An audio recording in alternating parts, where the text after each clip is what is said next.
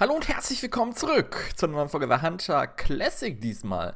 Denn ähm, wir haben noch das Schaf nachzone schon seit einer Woche draußen oder seit zwei, ich weiß es gar nicht, schon halbe Ewigkeit. Ich habe es schon mal im äh, Stream gejagt. Und heute wollen wir das nochmal in der Aufnahme machen. Denn ähm, das wollen wir natürlich nicht euch vorenthalten, ja, dieses äh, geile Schaf, was hier rumrennt in White Rime Ridge jetzt, ähm, nämlich das Dallschaf. Das Dallschaf ist quasi sowas wie das Ding, was in, äh, ne, hier, heißt Timbergold Trails. Timbergold Trails, da gibt es auch so ein Schaf. Ähm, wer ist das denn nochmal? Dickhorn-Schaf? Ist das das Dickhorn-Schaf? Ich weiß es nicht. Komme ich gerade nicht drauf. Ähm, aber wir wollen jetzt erstmal das Schaf erlegen. Und unter Teil dazu beitragen, die 1000 Tiere zu erlegen. Denn äh, aktuell läuft ein Event, ähm, dass 1000 Tiere von der Community erlegt, 1000 sage ich, eine Million, eine Million Tiere sollen erlegt werden von der Community. Und ähm, dann wird Doc seinen geheimen Schreibtisch lüften. Da liegt nämlich ein Bild von wahrscheinlich einem neuen Feature. Ich habe es mir gar nicht so genau durchgelesen. Ähm, aber auf dem Bild, also ich tippe mal, es wird demnächst einen Trophäenraum geben. Freunde, ist das geil oder ist das geil? Ja, also Trophäenraum fände ich schon sehr, sehr cool. Ähm, ist noch so ein bisschen verdeckt das Bild, aber man erkennt schon so den Podest und so ein paar Vitrinen oder sowas in der Art. Also ich tippe mal, dass das ähm, definitiv irgendwie sowas werden wird. Richtung ähm, Trophäenraum dann tatsächlich. Also könnte schon ähm, spannend werden. Ah, guck mal, ihr seht jetzt auch, dass äh, Tim sein Paket bekommen hat. also ähm, die Call of Wild T-Shirts aus dem 24-Stunden-Stream sind jetzt äh, wohl auch schon eins zumindest angekommen. Ob die anderen schon angekommen sind, weiß ich nicht, aber ich habe es alle gleichzeitig losgeschickt. Also werden sie wohl ähm, auch in den nächsten Tagen reinflattern. Sehr schön. Aber ist gerade Samstag, ja, bis das Video kommt, ist wahrscheinlich Montag. heißt, dann sind vielleicht auch schon die anderen alle da. Das ist doch äh, gut. Aber wir müssen erstmal tatsächlich jetzt zu den Bergen da hinten, die wir da sehen. Und da mal versuchen, die Schafe zu finden. Da habe ich zumindest das letzte Mal die Schafe gefunden. Heißt, hier vor wird erstmal so nichts passieren. Ähm, natürlich sind noch die anderen Tiere vorhanden. Habe ich auch meine Waffen dabei? Ich hoffe. Ja. Die 308, hier musst du den mal durchladen. Jetzt nicht wie bei Classic, wo du einfach losstartest, aber wie bei Call of Wild. Hier musst du einfach erstmal die Waffen durchladen. Die 4570 haben wir natürlich auch dabei, falls uns hier so ein Bison begegnet. Und dann sind wir gut ausgerüstet, würde ich sagen. Ich glaube, heute geht es mit der Cam. Mal eben gucken. GPS doch, wird nicht verdeckt. Ähm, denn bei Call of Wild, da meckert ihr immer, dass sie zu mittig ist. Hier habe ich sie jetzt ganz an den Rand gesetzt. Hier geht das mit dem GPS, hier verdeckt das nicht. Das ist äh, schon mal gut. So. Aber ich würde sagen, ähm, ich werde jetzt erstmal mich auf die Socken machen Richtung Berge. Denn vorher wird wahrscheinlich kein Schaf hier auftauchen. Und wir sehen uns dann gleich wieder, sobald wir eins gefunden haben. So, das erste, was uns tatsächlich begegnet, ist ein Sickerhirsch, der irgendwo da vorne rumrennt. Heißt, ich müsste mal meinen Caller hier suchen. Da ist er. Und dann versuchen wir den mal jetzt tatsächlich anzulocken. Wie geht denn die Steuerung? Da ist hinhocken. Schon ewig nicht gespielt. Kannst die Steuerung schon mal vergessen, ne? Und ich markiere mal kurz. Ne, markiere ich mir nicht. Keine Ahnung, wo der war. Irgendwo da so. Warte. Irgendwo auf dem Hang. Also müsste der da oben gleich runterkommen. Was ich hier wirklich jetzt vermisse, wo man es so gewohnt ist, ist die Windanzeige. Ja. Hier gibt es halt diesen äh, Rauch, den man äh, versprühen kann, den ich natürlich noch nie benutzt habe, ja. Aber das äh, ist so ein Feature, was ich jetzt tatsächlich hier vermisse, wenn man das von Cross White gewohnt ist. Aber ich habe auch, glaube ich, gar keinen Großneutralisierer dabei. Nee. Der ist mal wieder leer. Und ich habe ihn Selbstverständlich nicht aufgefüllt, ja. Gut äh, vorgearbeitet wieder. Aber für die Schafe wird das schon passen. Die werden wahrscheinlich sowieso eher auf die äh, lange Distanz sehen. Ich glaube, den werden wir nicht so nah kommen. Zumindest ist bei den Bergen relativ offen. Und da sollte man die schon aus einiger Distanz ähm, erblicken können. Aber wir müssen wahrscheinlich erst den Call bekommen, weil die schon relativ schwer zu entdecken sind. Die sind halt weiß. Und das ist im Schnee immer ein bisschen problematisch, sag ich mal. Die kannst du schon mal leicht übersehen.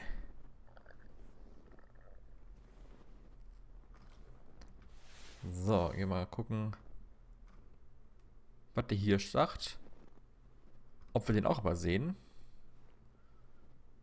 Warte mal, ich check, ich, ich check die Höhenlinie nicht. Das sieht ein bisschen aus wie so ein Meteoritenkrater hin, aber ist das. Sind das überhaupt Höhenlinien?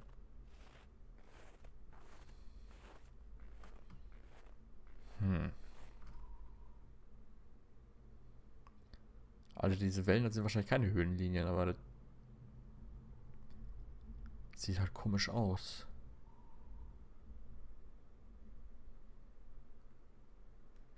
Hm. Gucken wir mal. Ich gehe einfach mal in die Richtung. Wenn man den nicht findet, ist ja auch nicht so dramatisch. Wir wollen eh die Schafe finden. Aber ich habe gedacht, kommen wir hier zum Einstieg, können wir uns den hier schon mal eben mitnehmen. Nur dazu müsste er sich auch ähm, ein bisschen einsichtig zeigen, ja. Und uns Dinge fallen tun und sich blicken lassen. Das wäre von Vorteil. Müssen wir also mal versuchen, den hier rauszulocken. Da vorne ist er.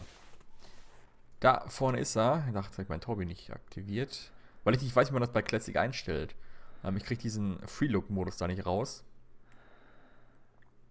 Lol, läuft der weg? Ne, läuft zu uns, ne? Wo ist denn Lufterhalten hier bei dem Spiel? Leertaste?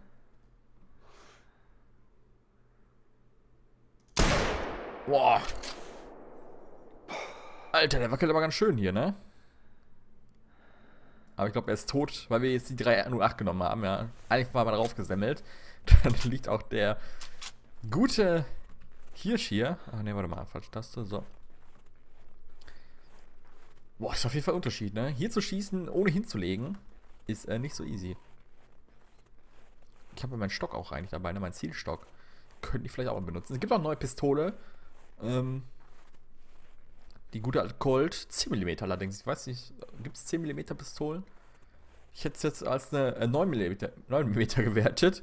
Ähm, war etwas überrascht, als ich 10 mm gelesen habe. Hat schon letztes Mal im Twitch-Chat gesagt, dass das eine 10 mm Waffe wäre. Also 10 mm sagt mir ehrlich gesagt gar nichts. Die meisten Pistolen, die ich so kenne, haben halt 9 mm. Also entweder ist es ein Tippfehler. Wobei, warum sollte man Tippfehler machen mit zwei Ziffern? Macht gar keinen Sinn. Vielleicht hat es wirklich 10 mm. Ich weiß es nicht, aber gibt es auf jeden Fall. Ich habe es mir mal nicht gekauft, weil die kostet 500 irgendwas, glaube ich. 500 äh, Dollar. Und dafür werde ich die einfach nicht benutzen.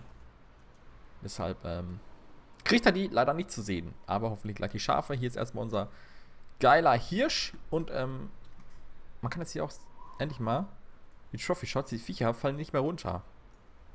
Heißt nicht, dass ich das jetzt besser hinbekomme, weil ich das ordentlich gefasst kriege.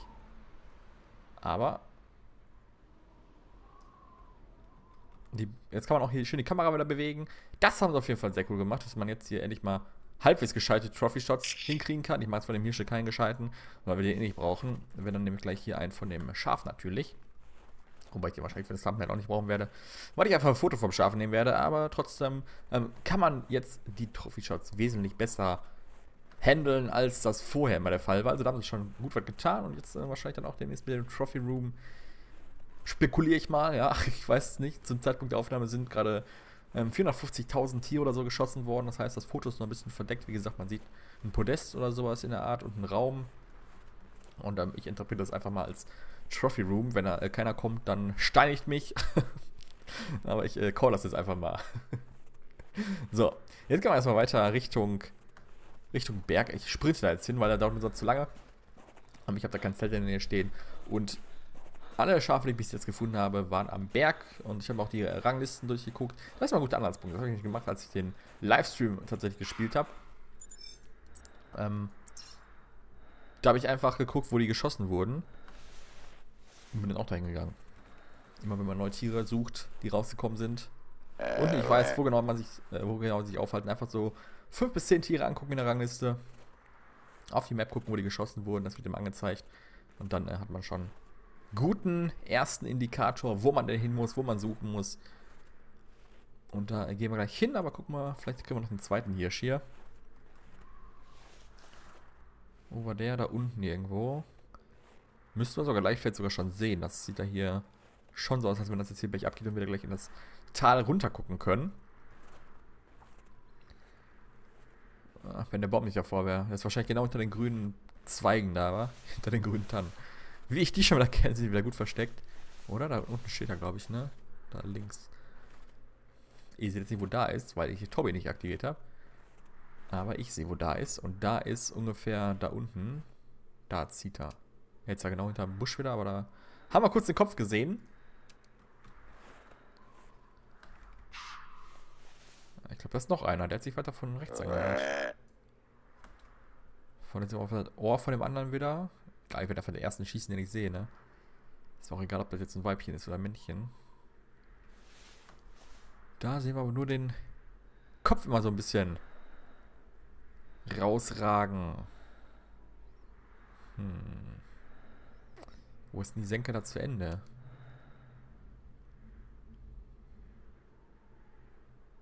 Wahrscheinlich erst relativ weit oben, ne? Hinter den Tannen wahrscheinlich erst. Hört überhaupt da auf? Nicht, dass das die ganze Zeit hinter der Kuppe da zieht und wir haben gar keine Chance, den zu bekommen.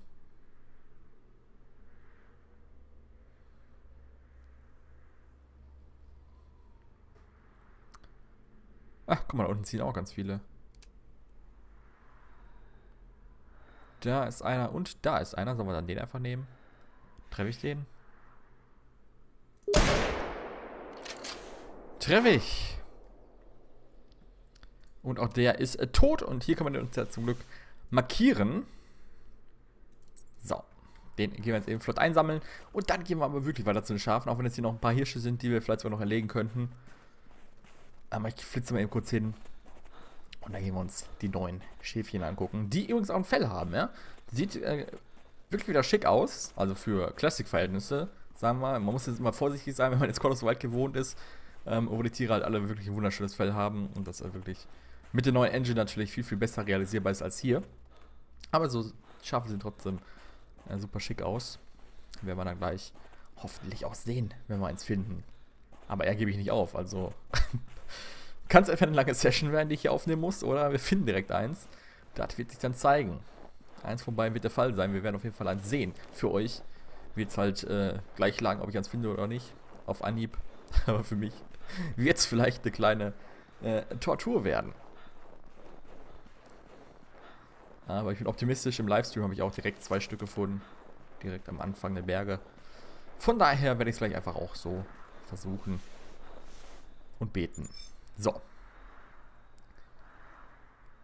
Da haben wir schon den Hirsch hier. Und da brauchen wir uns keinen Trophy-Shot von. Und äh, ich flitze einfach mal weiter Richtung Berge und wir sehen uns dann da wieder. So, da haben wir also den ersten Call bekommen von einem Schaf, das irgendwo direkt vor uns steht anscheinend. Das heißt, direkt hat nur ein paar Meter, vermute ich mal. Aber wir müssen jetzt da rankommen. Ich habe sogar einen Punkt markiert, wo wir hin müssen und genau daneben Call ist. Wahnsinn. Wahnsinn. Jetzt müssen wir es nur noch finden. Das Ding, es gibt halt keine Caller. Ne? Das, wir müssen es also jetzt irgendwie versuchen zu spotten. Ja, vor allem mit dem Revolver.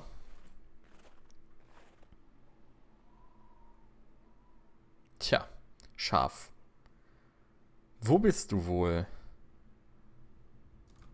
Ähm, ich versuche mal hier rechts auf den Hang zu kommen. Ich weiß nicht, wie weit ich da hochkomme. Aber ich hoffe, dass ich von da oben einen besseren Überblick habe über die ganze Lage hier, über das ganze Tal. Und ähm, hoffe, dass ich dann von da oben das Schaf sehe. Wie gesagt, ist halt äh, schwer zu entdecken und es ist wahrscheinlich noch ein bisschen weiter weg. Aber so weit ist es auch nicht mehr weg, ne? Geht eigentlich. Das müsste eigentlich da vorne in, ähm, in einem Loch drin stehen. Wahrscheinlich sehe ich es deshalb nicht. Aber vom Hang oben haben wir vielleicht bessere Karten, aber wenn die Bäume nicht im Weg sind, ne? Die müssen halt äh, außen rum sein. Aber kriegen wir schon hin. Kriegen wir schon auf die Kette. Ah, ist doch so ein dicker Felsen im Weg. Na gut. Wir haben keine andere Wahl. Wir müssen uns jetzt hier versuchen, hochzuarbeiten. Und dann den Blick drauf zu kriegen. Ah, guck, es steht immer noch da, ne? Das Dall scharf. Es steht mal unterhalb von unserem markierten Punkt. Und ich denke, wenn ich da oben... Doch, doch, das muss ich ja nicht sehen. Das müsste ich sehen, auch wenn der dicke Felsen da im Weg steht, aber... Ich hoffe, das geht halbwegs. Warte mal. Da müsste doch gleich schon irgendwo sein, oder? Was davon ist denn genau das Loch? Das müsste doch... Eigentlich bei dem Felsen da vorne sein, oder nicht?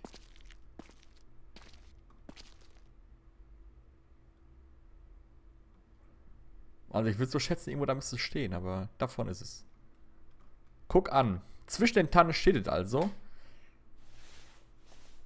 Heißt, äh, jetzt sehe ich jetzt wahrscheinlich nicht mehr, ne? Kriegen wir dann einen Schuss hin? Ach, bleibt natürlich genau richtig stehen.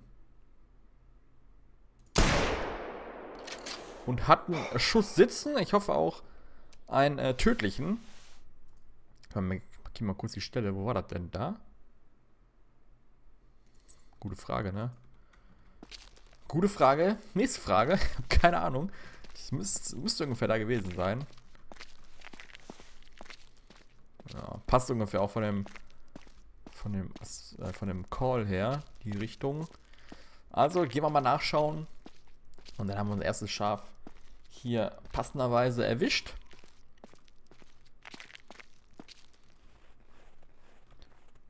War also direkt hier, auch wieder am Eingang zum Berg. Äh, können wir kurz auf Map gucken. Hier habe ich mir halt die Stelle schon markiert, damit wir hier halt reingehen können. Und hier treffen wir meistens schon die ersten Schafe. So auch äh, diesmal. Also gehen wir jetzt da gucken, ob wir den tödlich getroffen haben. Ich weiß gar nicht, ob es ein Widder war oder ob es äh, ein weibliches Stück war.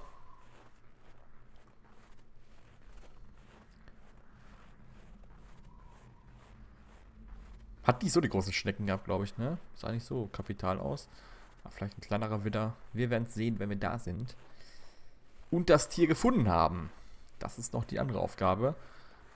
Ähm, aber man muss auch sagen, also wenn man hier rein muss, wirklich, das ist schon nicht so leicht, glaube ich, die Schafe zu sehen. Also ich habe immer das Glück gehabt, dass ich die hier am Anfang direkt hatte oder auf, den, auf dem Hang hier schon. Aber wenn du da halt rein musst, in das Tal hier, also in dem Tal selber, glaube ich, hast du fast gar keine Chance, da irgendwie nah ranzukommen. Außer du hältst dich halt wirklich an dem Hang da. Oder an dem anderen Hang. Ähm, sonst wird das halt ziemlich baumig und wenig Sichtweise hast du da. So, wir müssen aber gleich am Anschluss sein. Was ist denn hier? Das ist schon mal die Fährte, ne? Das ist schon mal die Fährte von dem. Heißt, die brauchen wir jetzt eigentlich nur noch verfolgen, bis wir im Anschluss sind. Müsste sogar schon da vorne sein, oder?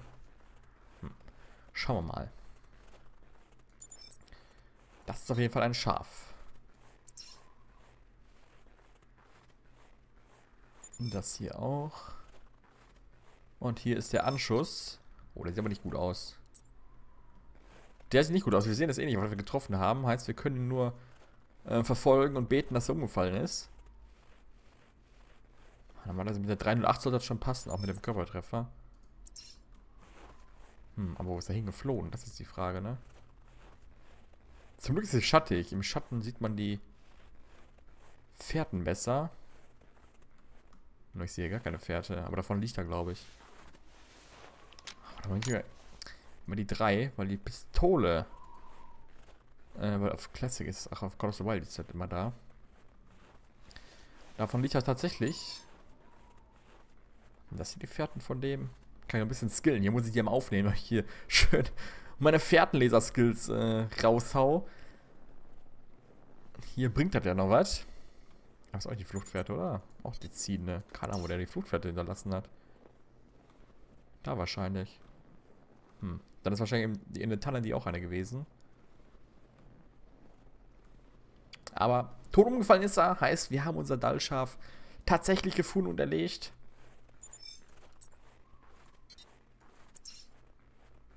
Können wir uns direkt mal hier zu Gemüte führen.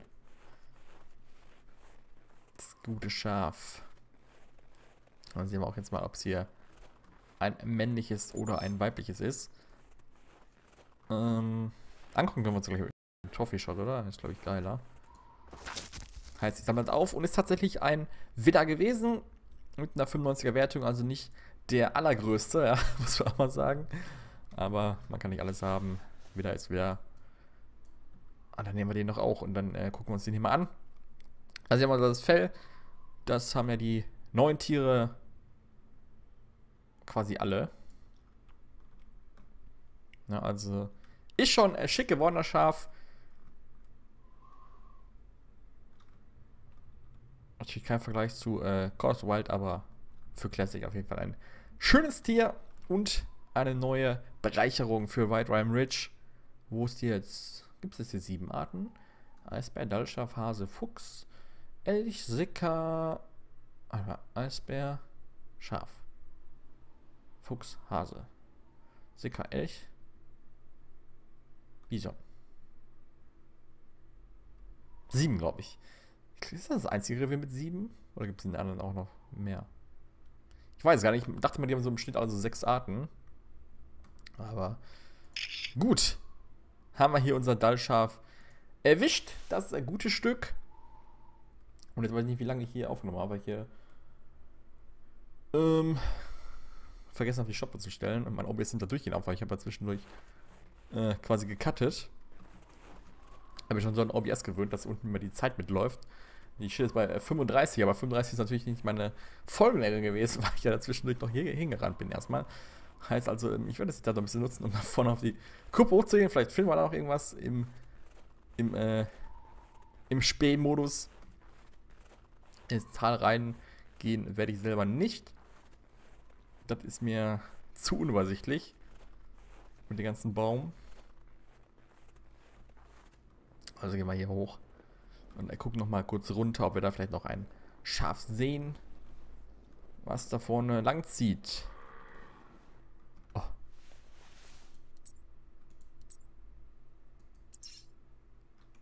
Das müssten wir aber eigentlich sehen.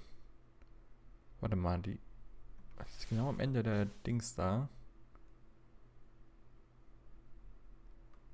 Das müssten wir eigentlich sehen. Das müsste irgendwo da sein, oder nicht? Ja, sogar noch ein Stück weiter vorne, ne? Ist da mal den... Der zweite irgendwo in der Nähe da? Ist das hinter dem Baum oder was?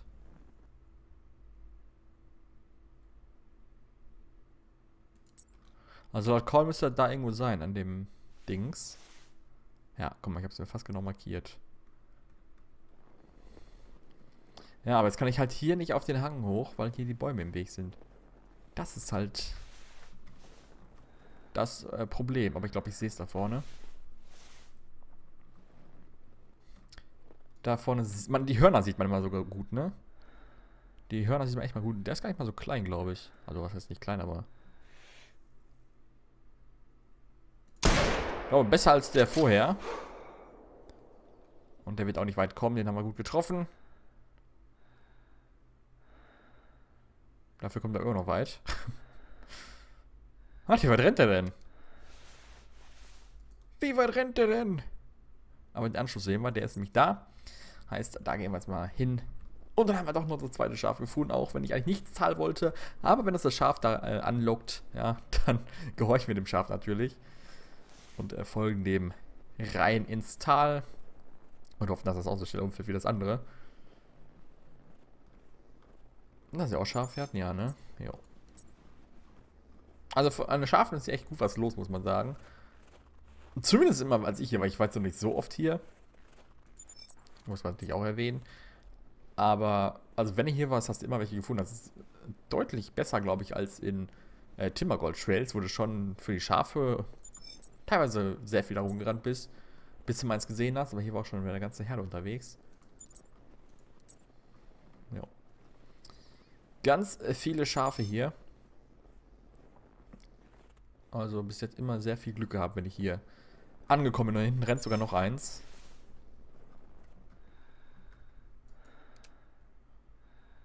Das ist aber ein weibliches Stück. Weiblich. Weiblich, na gut, äh, die lassen wir jetzt mal. Ich werde jetzt noch versuchen, hier meinen, meinen Widder zu finden der hoffentlich da irgendwo in den Büschen liegt. Und dann soll es auch gut sein. Haben wir genug Schafe gesehen, die wir dann hoffentlich auch bald im äh, Trophäenraum begutachten können. Das wäre nice. Das wäre richtig nice. So. Auch wieder so ein schlechter Schuss, ne? Wo ich hier voll vorne eingeschossen habe. Hätte auch ruhig mal umfallen können. Auch mal Level 2 direkt. Zack. Man findet nur von dem hier die Schweißfährte. Was hat das hier, der rechte oder die linke? Ich tippe mal auf die linke. Die rechte ist wahrscheinlich die, wo er hergekommen ist. Ist auf uns zugelaufen. Ähm, flüchtend, ja. Das ist auf jeden Fall dann wohl eher die richtige. Und hier ist er dann, glaube ich, einmal rechts abgebogen irgendwann. Ja, ich glaube, und da hinten liegt er auch. Da hinten liegt er, ich sehe ihn schon. Also, ohne, wie, sogar, ohne die Hörner, ne? Die werden echt, glaube ich, sehr schwer zu sehen. Aber die Hörner verraten den dann halt doch. Das heißt, bei dem weiblichen Grad zum Beispiel war das schon noch ein bisschen schwieriger, ähm, den zu finden. Da kommt schon der nächste, also wirklich scharfer hier ohne Ende. Aber die Widder mit den starken Schnecken erkennt man sehr gut auch im weißen Schnee. Und was es noch ein bisschen leichter macht, ist halt, wenn du hier morgens äh, lang gehst, dass, glaube ich, hier der Schatten noch ist. Wenn die Sonne hier voll durchballert, wie da hinten zum Beispiel schon auf dem Hang oder da auf dem gegenüberliegenden Hang, so im blendenden Weiß ist es, glaube ich, nochmal deutlich schwer, äh, schwieriger, die Tiere tatsächlich zu erkennen, als jetzt hier in den Schattenbereichen.